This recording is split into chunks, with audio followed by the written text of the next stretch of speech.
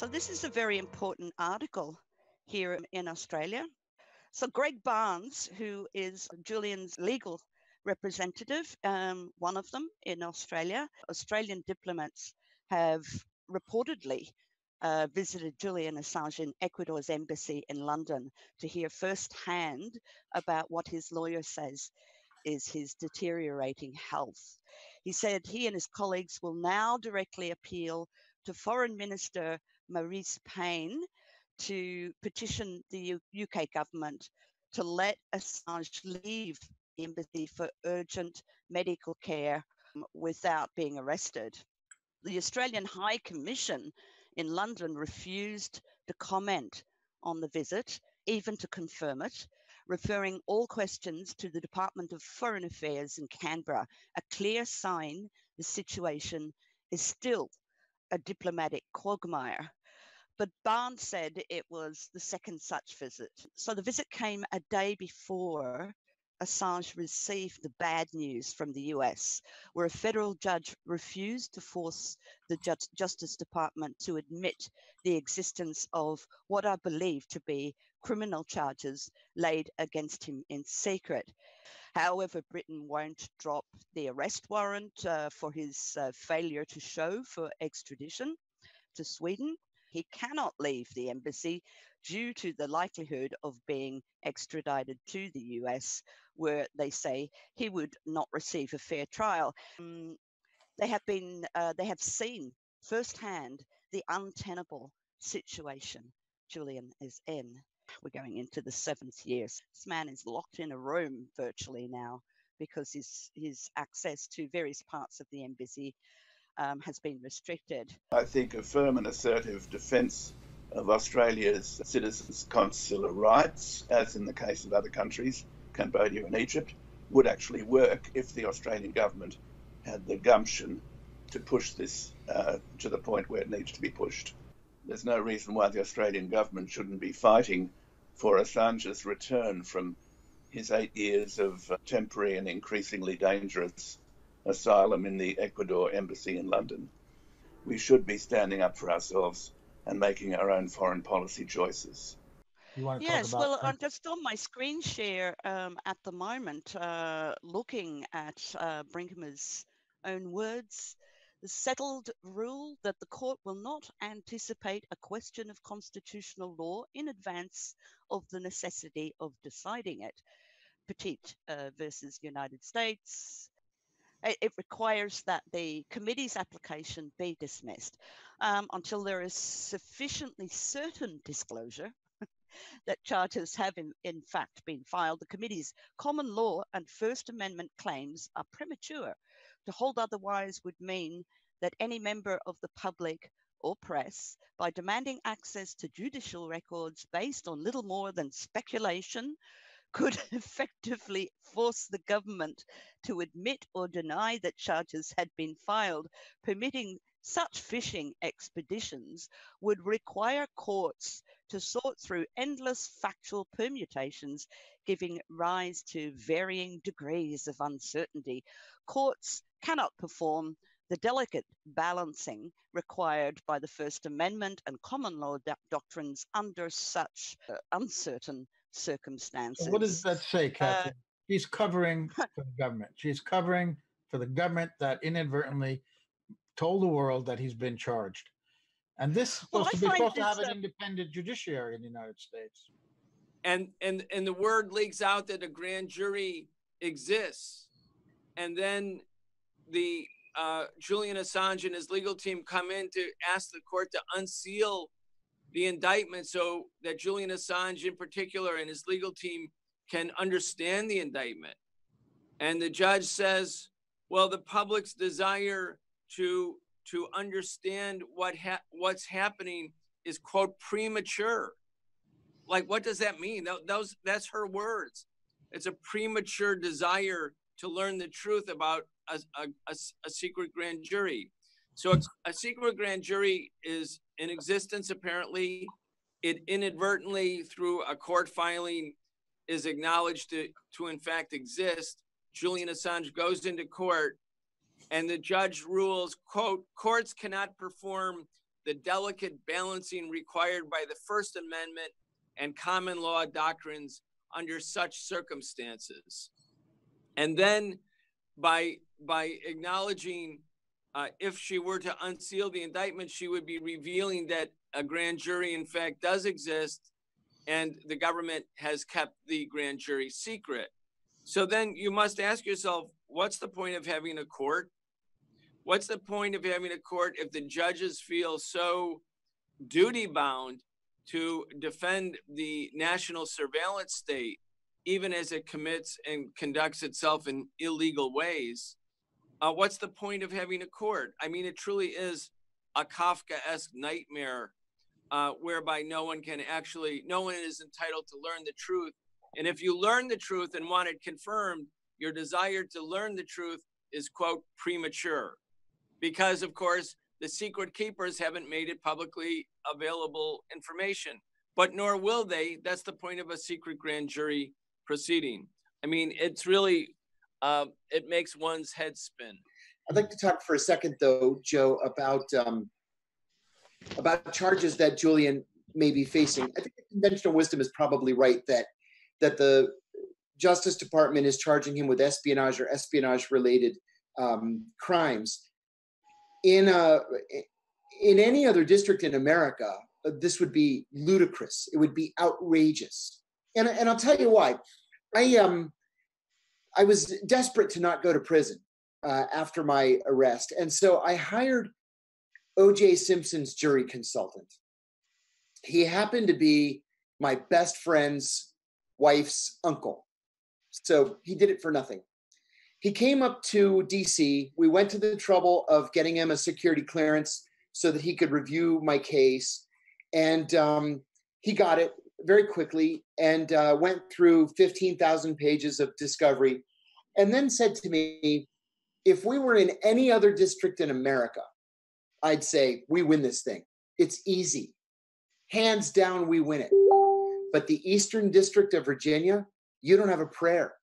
Your jury is going to be made up of people from the CIA, the FBI, the Defense Department, Homeland Security, and intelligence community contractors. He said, You just don't have a prayer. Take a plea. That's why they charged Julian in the Eastern District of Virginia. No crime was committed in the Eastern District of Virginia or anywhere else for that matter. But they charged him there because they knew that the deck was stacked. And in any other district in America, people would see the truth that the man's a journalist. He was simply disseminating information, information in the public good, and should not be prosecuted for that. That's the exercise of, of freedom of speech. But that's not how it's going to play out. Now there are certainly there are certainly more minor charges that could have been levied against him that he may have been able to or may be, still be able to um, negotiate where you could maybe negotiate it down to a misdemeanor count of let's say failure to secure classified information which is what uh, uh, general petraeus got but um, my real fear is they're not interested in a deal. They're interested only in coming down on him like a ton of bricks, and that's why it's in EDVA. That's uh, very troubling. Uh, in your case, did they invoke state secret privilege? I'm asking because this could also happen with uh, Stone, maybe, if they try to challenge. Absolutely, they did. Um, in the very first uh, hearing, they did. It's called um, an invocation of the CIPA Act, the Classified Information Protection Act. And so that meant several different things. It meant that um, that no one was allowed inside the courtroom unless they were cleared. So it was my attorneys and me, the prosecutors, the judge, the bailiff, and one clerk who took the classified um, uh, transcript. And that was it. The door was physically locked, so nobody could come in. And then when they would declare it a CIPA hearing and throw everybody out and lock the door, they would then sweep the whole courtroom for bugs. And it was only then that we could begin uh, talking. now they overdid that because there really was no relevant classified information in my case. And that, that was my argument from the beginning was that it was all unclassified. Or if it was classified, it was improperly classified. Uh, and again, I fear they're going to do the same thing with Julian. Just say everything's classified, everything is a secret, it's all national security, when in fact it's not. Not at all. You, you, and your defense were allowed to re- remain present for that hearing. I thought that they kicked everybody out. Like in the Sibel Edmonds case, I think in Sibel Edmonds case, she and her lawyers weren't even allowed to be there. Is that right? That happened to me once, um, where we had asked for we had asked for 70 documents to be declassified. So we we had filed um, 70 separate motions. And I, I needed these 70 documents to defend myself. And so as soon as we went in, the prosecutors invoked CIPA and then they asked for um, it was called a part C hearing or part D hearing, something like that. I had never heard of it.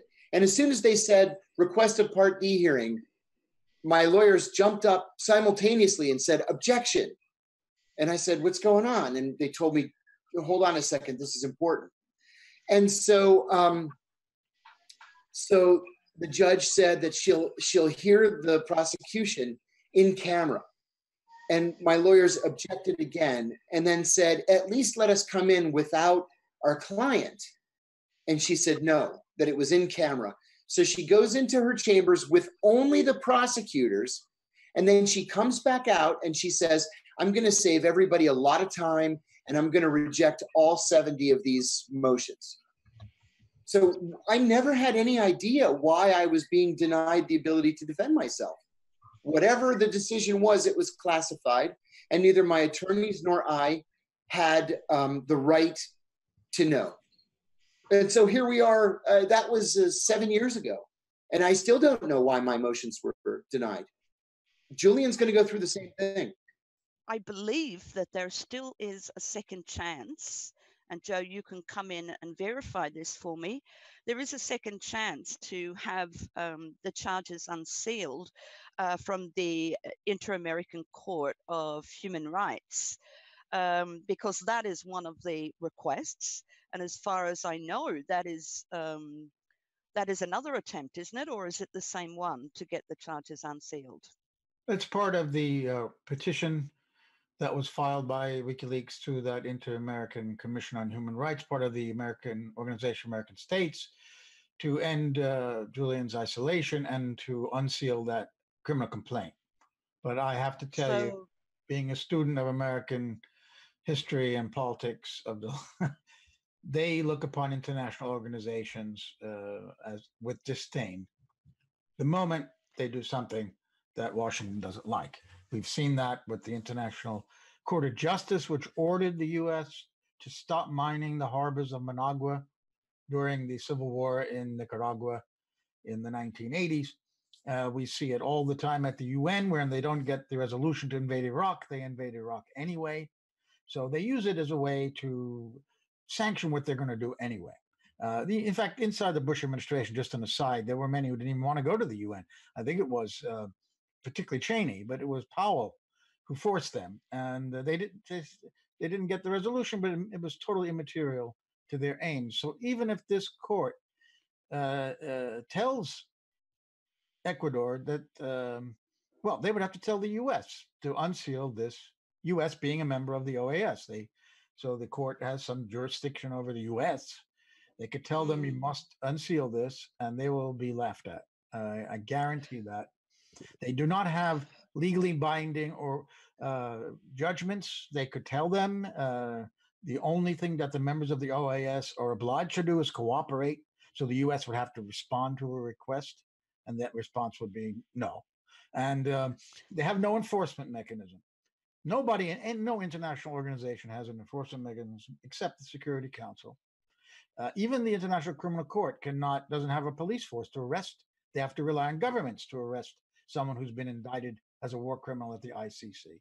So only the UN Security Council could impose sanctions and authorize war, um, which is what the U.S. wanted in Iraq and didn't get, but didn't stop them. So I uh, I don't want to make light too much of what that uh, uh, international. I think it has a political significance, like a General Assembly resolution, which can embarrass governments, can show the will. So if if the court decides to tell the U.S. unseal this, that should be news. It won't be reported. We'll certainly report a consortium news. We'll discuss it on this vigil, uh, and it shows that uh, an international organization ruled in favor of WikiLeaks. That's significant, but they cannot get it enforced or, or binding on the U.S. So uh, that this is a final decision by Brinkema. There is a way out that I can see, which requires a certain exercise of courage and decency on the part of an Australian government, whether this one or the next one, which is, I hope, coming very soon. And that is for the Australian government to, first of all, make aggressive representations in London to have Assange's jumping bail charge set aside because the Swedish government has withdrawn all prosecution. So it wouldn't be beyond the capacity of the Australian High Commission in London, our embassy there, to prevail upon the British government to waive that or set it aside. The next step would be, and I, I, I don't want to sound like a John Le Carre novel, but things happen, would be for the Australian High Commissioner to drive in his car to the Ecuador embassy to pick up Assange, to drive him under the High Commissioner's protection possibly with a British police escort, straight to Heathrow Airport onto the tarmac, onto a waiting Australian Qantas plane, because we actually have a direct Qantas flight, the Australian national airline, from London to Perth without stops. And once Assange is on that plane, there is no way he could be touched by the Americans until he gets to Perth. It would then become an issue for the Australian government and the American government what to do with Assange but I believe that no Australian government would dare to extradite Assange to the United States without a proper legal process, without a proper charge tested in an Australian court. If the Australian ambassador, High Commissioner, walked into the Ecuador embassy and walked out hand in hand with Assange and put him straight into an embassy car, I cannot see Assange being arrested. If if the Australian government had taken the legal steps beforehand of clearing it with the British government to say, look, this is ridiculous. We're going to take him home. Can you give us some insight from your own experience about how prosecutors can be extremely dishonest and deceptive uh, to mislead the public? Oh boy, there are literally no rules for uh, for prosecutors or for federal investigators. They can lie, they can deceive, they can cheat, they can do anything they want. And one thing that I I kick myself for not reminding myself when when it was happening to me is they always know the answer to the question before they ask it. And so where many of us get wrapped up uh, is by trying to please them, trying to rack your brain to give them a, an honest answer, and then you end up misspeaking that that misspeaking can be used against you, of course, as a felony, uh, making a false statement charge, or in some cases, an obstruction of justice charge. Just say, "I don't recall." That's it. That's a legitimate response. I do not recall. Um, when when I had been arrested, I was charged, in addition to other things, with one count of um, uh, making a false statement. I hadn't made any false statement, and of course that that charge was dropped. But the prosecutors threatened me with another false statements charge and an obstruction of justice charge because I kept saying I don't recall. The honest to God's truth was that I didn't recall. And they were furious that I didn't give them an answer that they could then use against me. Well, that's one of the tricks that they have. That's the leverage that they have over you because once you make that mistake, they immediately file a felony charge and then they offer later on to trade it. Well, we'll drop these charges if you talk about so and so, or we'll drop all these other charges if you take a plea to a reduced charge. And that way they get a conviction, and that way they get a promotion, and they get a $400 performance award, and then they get to put your name on the ticker at the bottom of their website, and uh, and they all uh, congratulate themselves. That's the system, the corrupt system that we have. We hear about so many things. There's been so many violations right from day one with Julian in, in, in Sweden.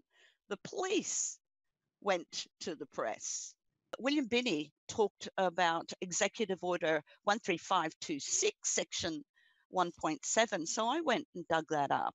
So Executive Order 13526, Section 1.7, it is illegal classify information that would conceal a crime. Let's read the actual mm-hmm. thing.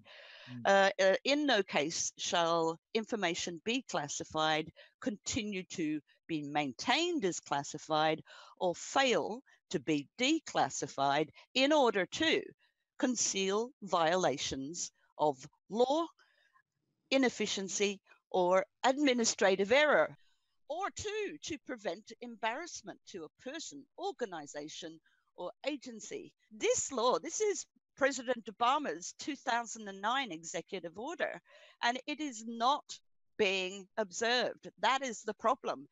And you make a good point uh, that in a trial, if there were one, uh, in a national security trial, like uh, Julian Assange would face in terms of classified information, he could not use this as a defense. I don't think. Uh, well, you cannot use a defense or a political what his motives were. You cannot, as as Dan Ellsberg said on one of these vigils when he got on the stand, he wanted to explain why he leaked Pentagon papers, and he couldn't say that. But perhaps they could bring this forward that the classified documents that WikiLeaks has published all should not have been classified to begin with, or at least many of them, based on this executive order you just said. They should not have been classified because they were about crimes or embarrassment. Absolutely. Gareth, you want to add anything?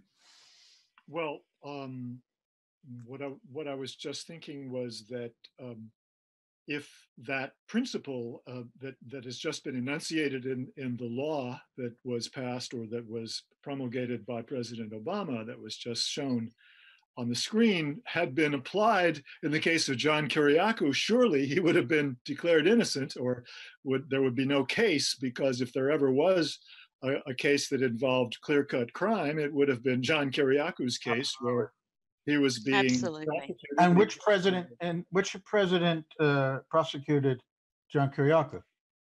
Obama. The same one who issued that order. Exactly. Exactly.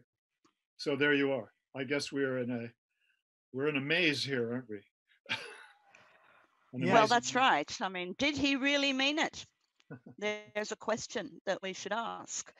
Um, you know, he he made a lot of promises, Obama, and he went ahead and did quite the opposite. He prosecuted more whistleblowers, um, charged them with espionage than in all of recorded history. Yeah, um, I've got one more screenshot that just came through from our our elves, our fact-checking elves in, in the background. I just like to show you. This is a joke. This is a joke. You're going to laugh. Okay, uh, here we go. Where's my Chrome? Here we go. Share. Okay, so uh, apparently it is legal to lie to Congress. False Statements Accountability Act, FSAA, was sponsored by one term freshman Senator William Martini, who later became a federal judge. It, ah. it, included a bizarre subsection that permits judges, attorneys, and parties to lie to Congress, to courts, and agencies without liability. There you go.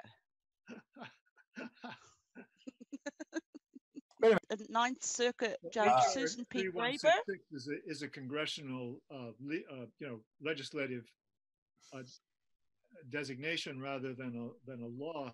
Yeah. A law, right. I mean, that's that doesn't suggest that it was already passed. I don't know. Yeah, well, it, it does say here learn about the 1996 law they passed while you were asleep to make sure that no one goes to jail. Hmm. So, um, but that that that should that requires further looking into, um, which I well, well, if this ever became law, then you could lie and not go to jail, and in Julian Assange's cases, you could tell the truth and go to jail.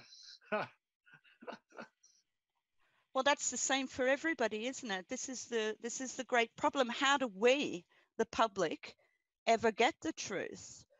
I was saying uh, one of my main, it is illegal to classify information that reveals that conceals crimes, but it is also illegal to publish information that reveals them. crime wins in the end, doesn't it? I mean, that's that's why we're in such a terrible state of not knowing what the hell's going on and things just being done by people who who benefit from secrecy and impunity. And uh, you know, it's happening here in Australia uh, as well, in particular with respect to refugees. And Julian is a refugee. It's appalling. I think Joe was just going to say something. Go ahead. No, I was going to say they have their bases, all their bases covered there. So uh, when when when they want you to lie and get away with it, you can, and when you tell the truth, you can't. So Australia needs to reassert its belief, which we had in 1949 when we helped negotiate the UN Charter and the UN Security Council rules. We need to reaffirm our belief in multipolarity, in a concert of independent and sovereign nations who come together in the cause of international security. We have to get away from this idea of us and them, that we are the good guys and Russia and China are the bad guys. There are no good guys, there are no bad guys. There's simply a, a multipolar world in which Australia, as a middle power, has to navigate its way. I'm not saying we should be anti American, of course not, or anti British, but we need to rediscover our independence of outlook